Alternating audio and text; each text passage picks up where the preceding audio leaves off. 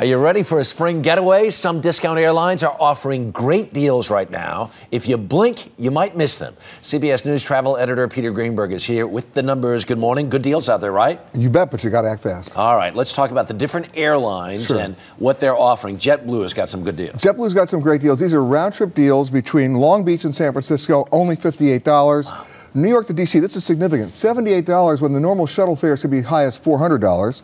And LA Boston, 238 bucks. Not bad a deal, but you gotta buy it by tonight. I didn't. Yeah, but the but it's travel through June 16th. Right, okay. Uh, Frontier's got some good deals too. They do, and of course you got to buy that one by Friday. By Friday. Okay. El- uh, Denver to Albuquerque about seventy-eight dollars. Mm-hmm. Denver to, or Phoenix and Long Beach about ninety-eight dollars. Again, good. That's pretty good. Travel through June 9th. You got to buy it though by Friday. AirTran is also in on the Yeah. action. What are they offering? Well, this is a different deal because it's travel through November 16th. Wow. Not a bad deal.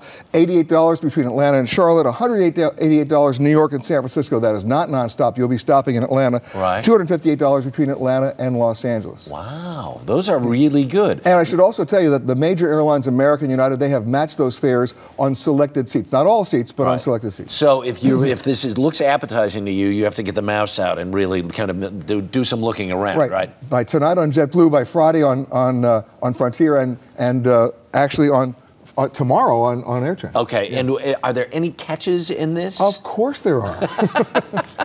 the bottom line is on that AirTran deal, good for, through November 16th. Right. You, there are 28 separate blackout days you got to watch out for. Okay, all right. And, and bottom line is you got to fly Tuesdays, Wednesdays, or Saturdays. All right. Here's the thing: if Yeah. you if if you are retired or if you're you know maybe uh, Flexible. yeah.